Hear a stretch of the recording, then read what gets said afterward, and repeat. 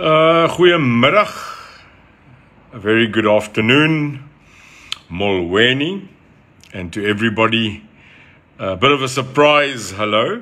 'n Bietjie van 'n surprise goeiemiddag Kersfees. En um, ek weet baie van julle is nou besig met daai laaste halfuur of uur om die uh, kos reg te kry. Die familie is om die boom. Kinders het ver oggend of gisterand hulle presente gekry. Everybody last night opened their presents or this morning around the tree got together to celebrate this day, Christmas. And it's not Christmas with an X, it's Christmas.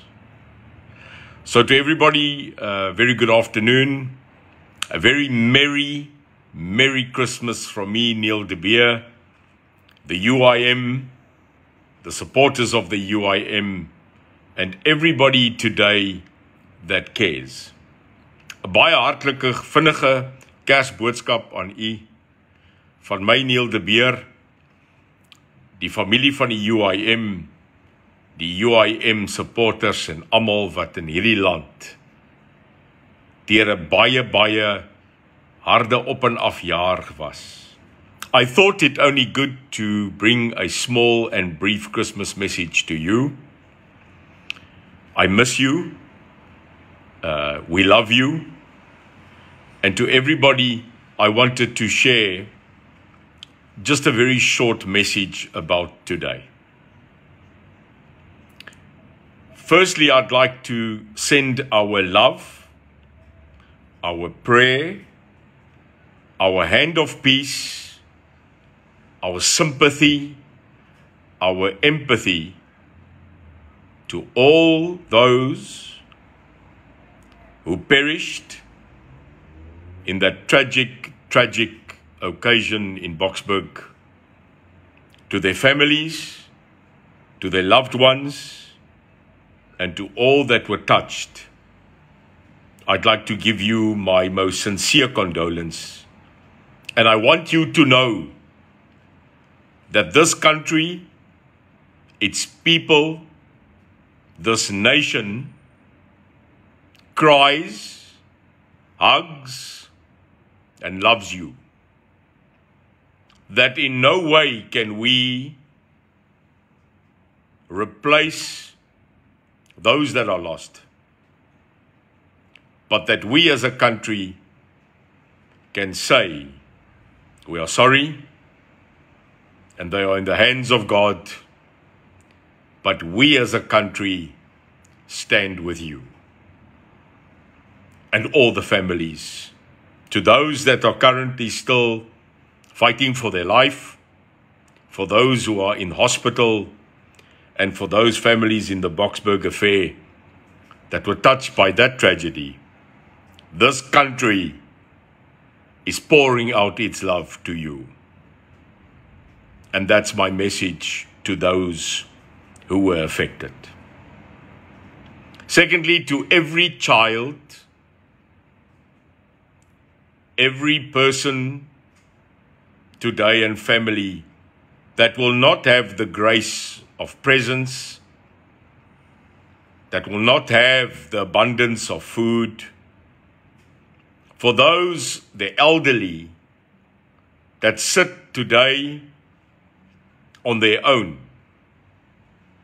May I give you today the assurance that you are not alone in your soul, that God and every person in this country loves and thinks of you as well.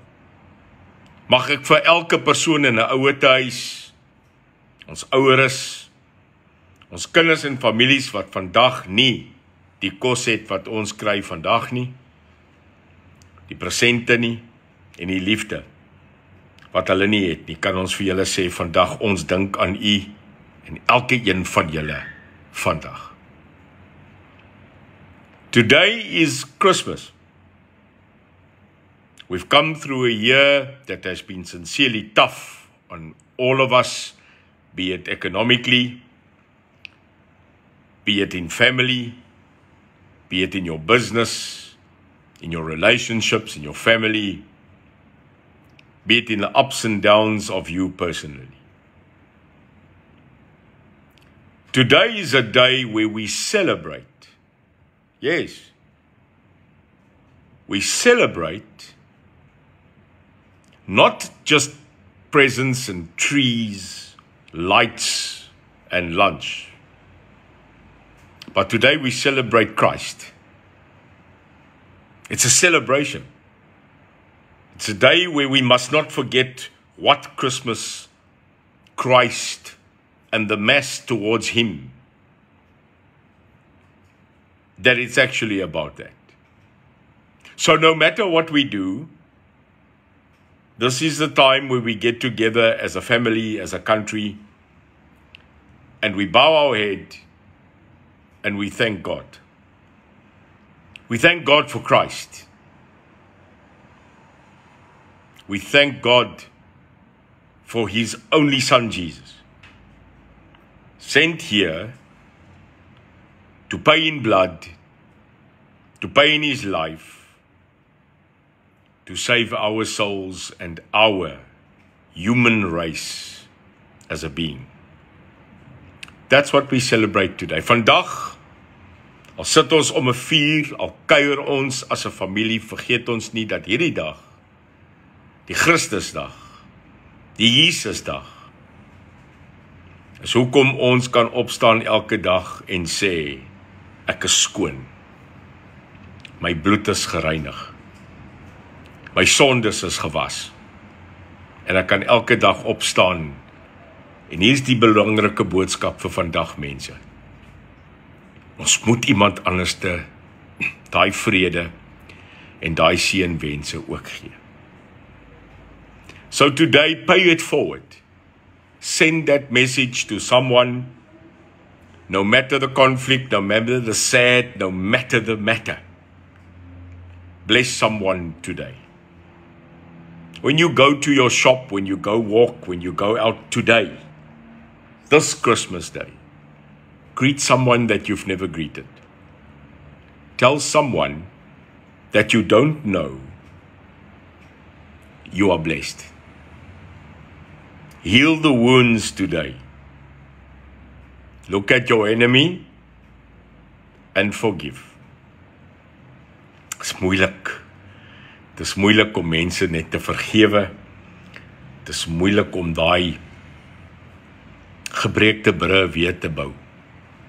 Maar vandag is daai dag waar ons die kans het om iemand te vertel van die vergifnis en die liefde van God. Ek hoop dat elkeen van u hierdie dag geseën sal wees dat ons as Suid-Afrikaners vandag die politieke stryd die donker en die dae van stryd net kan vergewe en wegsit net vir vandag en daarop dan bou vir die toekoms. Ons het 'n mooi land. Vandag dra ek vir die eerste dag net hierdie dag rooi. Miskien op 'n ander dag beteken dit vir iemand anders te iets anders. Maak dit maar besluit vandag sal ek maar rooi dra. Want dit is tog Kersfees. Maar ek gaan hom nie weer dra in die jaar nie. Dan beklei ons 'n ander spesifieke rooi. Maar net vir vandag het ek besluit in the spirit of Christmas sal ek ook maar rooi aantrek. Die baard is nog nie heeltemal wit sodat ek soos Kersvader kan lyk nie. Mag Kersvader se liefde wat eintlik die betekenis is van God en Christus, die liefde, die seënwense, die saligheid, die rustigheid oor u familie vandag gee. Onthou magies vol Ogies toe. Have a blessed Christmas day with you and your family. Enjoy whatever blessings is given to you. May God's hands of peace, sovereignty, and blessing be upon you, your family, And yes, on this said Republic of South Africa. Mag God se seënwense vandag op hierdie Kersdag op u, u familie en u mense helder skyn. En mag God se groot hand oor hierdie seën en geseënde republiek van Suid-Afrika heers vandag en vir altyd. Onthou, Suid-Afrika eerste. Maar God nommer 1. Kyk na jouself, geniet vandag en ons praat weer in die nuwe jaar. Dankie vir u tyd, altyd vir jou tyd. En onthou, ons is lief vir julle. We love you. Thank you.